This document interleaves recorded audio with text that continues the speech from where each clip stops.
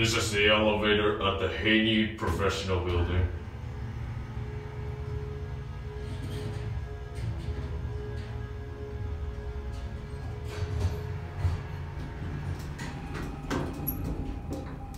In Maple Ridge, British Columbia. And we got an Otis Lexan.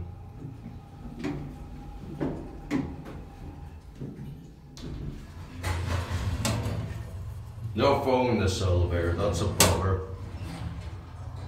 There are two different Otis logos. One's an older one, one's an 80s one. We'll take it on our ride.